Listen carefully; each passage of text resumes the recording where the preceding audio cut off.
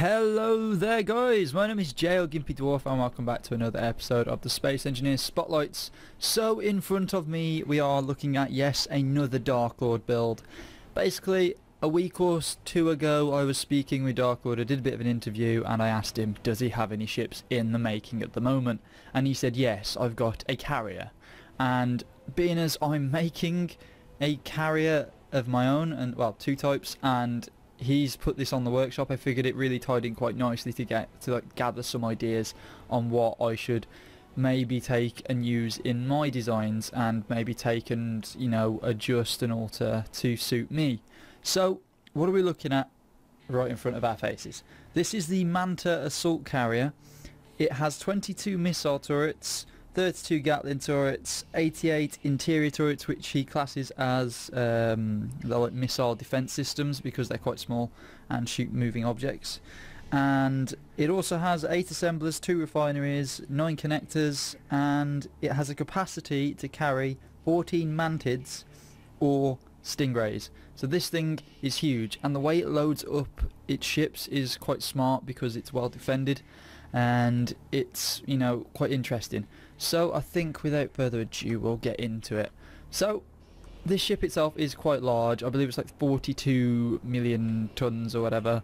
And it's got enough power to move it. He does claim it's quite slow and we'll test that in a bit. But uh, it's I'd say adequately powered in all fairness adequately you know thrusted. It, it seems to be I know, very slimline, very flat, which is something that Dark Lord always does with his builds. He tends to make them quite flat and hard to hit. I don't know, it's it's just the design is quite nice, and I like this whole hey you've got the engines facing engines, but they're far enough away that they won't do any damage to each other. So behind here we've actually got two Titan thrusters which move it forwards in this very sort of nice confined sort of space, and it's you know just gorgeous to look at in every sort of angle. I do like the use of orange just to offset all the other different colours. And there's like little hidden like engine bays and things that you find and you think, oh what's in here? Could there be a door? And you go, no, it's more engines. It's very well sort of worked out I think. So within this middle section that I haven't flown down yet, we actually have the, the sort of bays to park and this is what he has inside. Now this is just brilliant. I mean I'm unsure about if they are actually connected or not. I don't think they are. But either way these look gorgeous. His ships just I don't know they, they look absolutely amazing in every sort of angle. And I'm not like fanboying or anything but they do you know look gorgeous. And I do believe is this a door system? Don't say that's a door system Oh, Dark Lord, you absolute babe. Now, I look through these builds, I, I kind of skip over things just so I find um, you know amazing things with you guys, but that is absolutely friggin' amazing. The way he's got all of these to have individual bays that close up and allow for blast protection is just awesome. And the way he's used the pistons as well, he's actually put a piston by the side and then he's put like, you know, the door down there, which I may actually take that and incorporated into the new carriers that I'm building because that is something I've been looking for for a while. And thank you Dark Lord you absolute babe. So all these bays I believe are the same. They go all the way down and they've got some protection as well which is good. He's, he's actually made for what if the enemy get inside? Well they'll get absolutely shot up when they're in here. So let us go into the front sections first and see what's in here we open this airlock again, nice little airlocks, and I think he's taking on board some of the things I've said, so hopefully we'll see some toilets with some basins, which would be nice. So, we come through, and we close that door behind us, and we're now in what looks to be, oh, an engine compartment room. Oh wow, this is quite nicely compact. So he's actually got the engines sort of further forward. I'm hoping to see some engines at the back, uh, well reactors at the back, just just in case these ones do get shot up a little bit. But it does look adequately armoured, so that's that's pre that's pretty nifty. Let's go up here, and what we got here? So we come across, and we've actually got gyroscopes sort of contained in here. Areas where we can actually get up to see the reactors and repair them if need be. And we we're then onto the um, But then to the actual Sage industrial thruster, you can actually stand on top of it. So I'm guessing this is for the purposes of fixing it up as well as sort of making it look quite nice in here. It's very nice to use the, the blocks aesthetics indoors rather than outdoors, you know, and mix it up a little bit. But you can actually come here and, you know, repair if need be if that's broken. So that's pretty cool. Everything's nicely opened up and it's, you know, it's very nicely packed away into this sort of smallish package in all fairness. So nothing there, a bit of a dead end. So that is the first bit. Now, if I'm right in thinking this thing is is mirrored, so we don't have to go to the other side and see that. But uh, I'm I'm gonna guess that. So let's close those doors, and we'll keep moving down. I think so. I'll just go up, round, and down. Got some more of these. These ships are gorgeous in every. I, I've already said it, but um, yeah, this is just beautiful from what I'm seeing at the moment. We've actually got a green door here. What do green doors indicate? Is this another airlocked area? I'm just going to open it all up. Oh, check that out. So we've actually got double glazing. That's that's that's pretty. I didn't actually see that. Hmm, weird. What's in here? Hey, hey! Is this the toilet? Oh, look at it! He's actually got the toilet and the basin and the shower all in one. Brilliant. Thank you Dark Lord for, for bringing that into into the build. That that's made my day. And we also have bedding here, so a bit of a living quarters for the pilots, which is cool. So I'm guessing green is the living quarters in his little, you know, sort of dictionary of meanings for colours. So we'll close that. I'm guessing that's the same on the other side as well. Yeah, there's a green door. We've only got the one section kitted out with the ships as well, just to note, so the other end is empty. We get down onto number 8, and then we have a blue door. What is the blue door for? It's bluish purple, isn't it? Yeah, it's purple more than anything. Come through here, come through here. Oh, and then we have like a, I think it's like a health bay. So in here we've got all this other guns. Oh, and it actually moves onto the ship by the looks of it. So we've got, I like this window design. I'm gonna have to actually have to have a look outside to see what the hell I, you know, how the hell I missed those windows. We got basins again for cleaning your hands for sanitary reasons. Got beds. And we've got a nice med bay here just to, you know, I think that's actually conveyed up. He conveys them up in, I, I'm thinking he conveys them up in the thought that they will be used and you will need to provide materials to the med bays, which is good. Thinking about the future, which is really, really good to see. So that continues up there. And if we just go out here, I know I've missed the door, I'll be going back to that one in a second. So this just ends, and this is where the cockpit is up there. So we'll actually head back through that med bay area and walk down that corridor which takes us to somewhere. So it comes back through here, back around here, and down. So what is here? What is exactly here? We've got some control panels here. Are there any con any controls set up on these? No, so these are just blank ones. They're not fitted out for any purpose. He does fit some of them out with purposes if need be. Um, what you guys have got to understand is going through every panel and placing, you know, specific things for that specific panel is a very tedious job. And you know, if you can't think of a reason to have a panel that, you know, you, you don't you don't really put any sort of use to it. You just kind of make a use for it if you ever use the ship and fly it outside of, you know, outside of just showing off and looking around it and playing it maybe in survival. So that's like a command bridge of sorts to control sort of what the ships are coming in and out. And we've got a cargo container here which will allow us access to the whole ship, which is nice. Oh my god, so many things in there. And we come through here and drop down. We've got a nice little canteen area with some a coffee machine, fridges, and all the necessary all the necessary things to eat in and with and we can have a sit down and sort of enjoy ourselves as pilots and then get ready to fly which is really nice. Up here there's nothing up there, it's just uh, the conveyors and we come through this door and where are we? Where where are we? So I think we're in the at that yeah so here is the end of that walkway section for the ships that's pretty cool so we've got multiple access routes which is nice and airlocked on everything which is very very good where do we get to there we go so we come through here and we come through there didn't we yes so this is like just a random toilet here. It's just a random toilet sitting there very randomly. Maybe just for purposes of quickness, just jump in there, go to the toilet, and we've actually got the Titan engines here. Ah, that's, that's a pretty nice view actually. So you've got the Titan engines sitting up there looking proud as ever and looking very very beautiful allowing you to see into there to see if the you know if they're damaged or not. Of course custom models don't actually take proper damage yet but that's a pretty cool thing to see in there a bit of decoration as well using the blocks to their advantage. And we come through the is this an orange door or is just a white door? Okay so this is like a bit of a shower room that's why the toilet was open on the other side so we've got a bit like showers here all conveyed with a cargo container there just in case you want to grab anything. A little desk there so we can put put odds and ends in there. And we come through the red doors. What do red doors indicate? Oh we got the assemblers and the refinery section.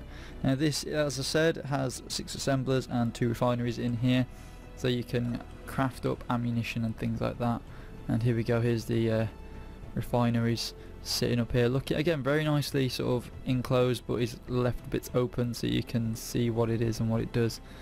Can't access it through any other means rather than um, you know going through panels and things which I don't know I like to have a face that I can jump into and get into the actual machine because if the conveyor breaks while the ship's being shot and you need to say craft a gun or you need to craft some materials you can't get into this without grinding down things around it to get in so that's only one little thing but, you know, in the grand scheme of things that wouldn't really matter because the ship is quite adequately armoured to take such a beating.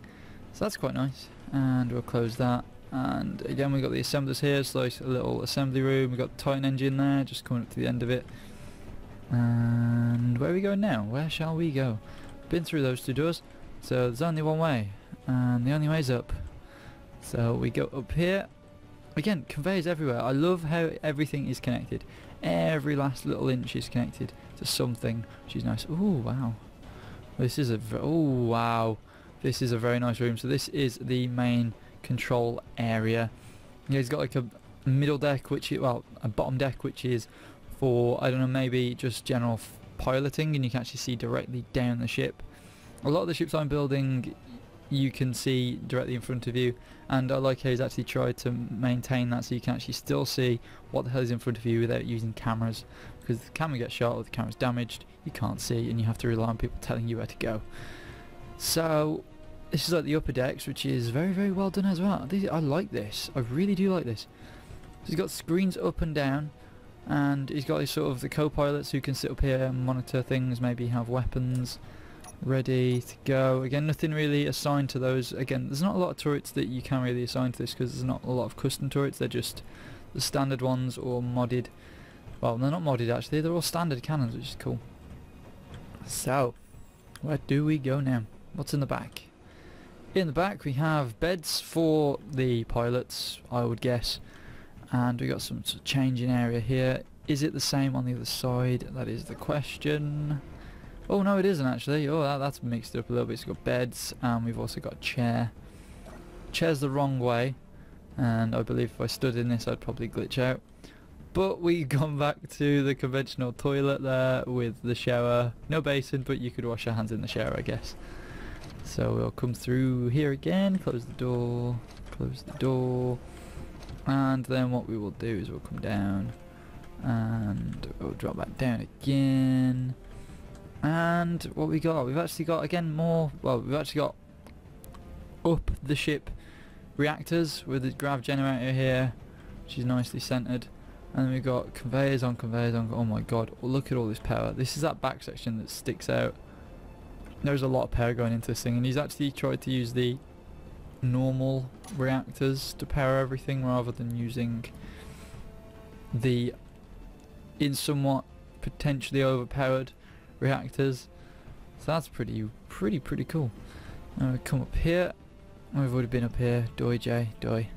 So is there anything else we need to really look at before we get on to having a bit of a crash test on this thing? I know the stairs and down this way as well, but I think it's all the same. Yeah, It's all the same. So that is it for this area. Now, I'm going to probably have to use one of my own ships because I can't really shoot this ship up with the ship of its of its own. I may actually crash them into each other, which may be something interesting to do. So I'll set that up and I'll see you guys in a second. Okay, so I have the uh, ship prepared. This is the ship I'm actually going to be crashing into. I have the top ship. I'm actually going to start flooring it now and we're going to see what happens because I don't know what these two ships are going to do. I don't know how fast the, the one ship's going to get up to really. So it should be quite interesting to see, I guess. Um, hopefully I don't miss either. I'm aiming for the middle.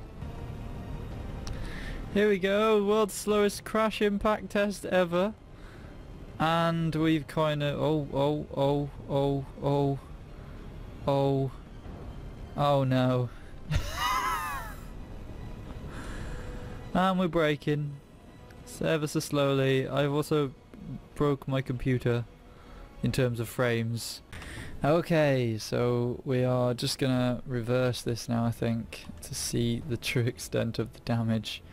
Uh, it seems to have ploughed through to the other side. It didn't hit the cockpit, which is good, um, because the center of this ship is just uh, in in in sort of ship terms, it's it's kind of dead weight. You could lose the front end of this ship and you'd still be okay to fly because you've got still reverse thrusters on the back end of the ship, which is good. But I actually think we've still got hull breaches, and I know you guys have said that hull breaches don't really matter in this game at the moment, but they do because you know it's it's uh, an important thing to know on a spaceship. Sorry, the the, the other ship was randomly going down for some reason. I a bit confused as to why, but it's sort of sorted itself out now. So with these frames, oh my god, all these frames, holy poop. I'm just going to go through and have a look and assess the damage. So, as I said, we kind of just narrowly avoided by, by oh god here we go. That's going to hit something. Uh, we kind of narrowly avoided the front end of the ship but I don't actually think we've gone that far through have we? I mean we've broken the reactor rooms here. A lot of stuff has come free which is quite worrying because it's not I don't know whatever we've hit it wasn't tied on very well. It was only tied on on one face which isn't the best. I know gyroscopes you can only attach them to one face, but still we've got some debris floating around which could be a potential hazard if you know people were to be in the way of it and you could potentially get hit by it. But we've took massive damage to the well the crew ship area which again it's dead weight from I'd say I don't know this point it's dead weight whatever is on that front end you'll lose some power but you've got backup power in, in the back of this. So whatever is from here onwards is kind of dead weight to the ship. The only thing it is there for is to carry other ships. So I don't know that kind of plays to its advantage because if it does get if it does get hit then this happens. And as you see on the other ship ramming isn't exactly the best thing to do because it's taken out a lot of the ship's main sort of powers, supplies and gyros and things like that and it's it's just absolutely made a mess which isn't the best. So I think that's really it. I mean we've broken through the bottom but it doesn't really matter. Again dead weight. It doesn't really matter that you've hit through the bottom. It's it's just you know it's it's absorbed the impact. It definitely has because it hasn't gone all the way through. And the ceilings of the hull, well the, the, the hull ceilings have sort of taken the brunt of the damage and the force, which is good. And overall I think that, that was quite an interesting view on things. Um, I've never really crashed two carriers before, never really got 11 frames on a game before, but you know, it's it's all it's all in, in good gameplay I guess, and good testing. So that is it. So if you guys have enjoyed this then please like, favorite and of course subscribe for more. Don't forget to leave any sort of comments and suggestions in this video. Dark Lord does look at the videos so if you guys want to maybe give him some thoughts and opinions on the ship then put them in the comment section and I guarantee that you know he'll be putting this video onto his workshop page anyway so you guys will see it and be able to comment and say what you liked what you disliked and what things could be potentially tweaked and changed so I'll see you guys later peace Thank you.